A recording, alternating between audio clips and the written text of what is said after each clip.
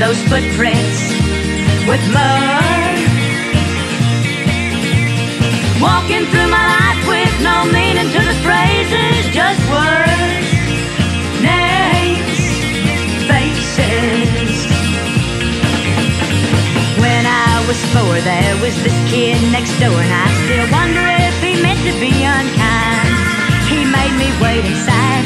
took my stick horse for a ride. Then down the street he broke my horse's neck in two.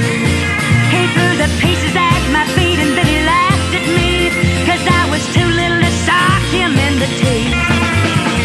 When I was 20, I met this guy Henry, but he sure didn't do me no good.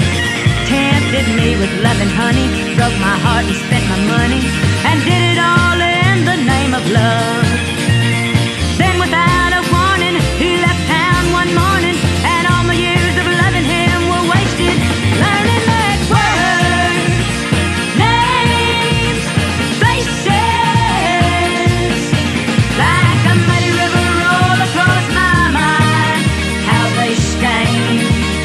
footprints with.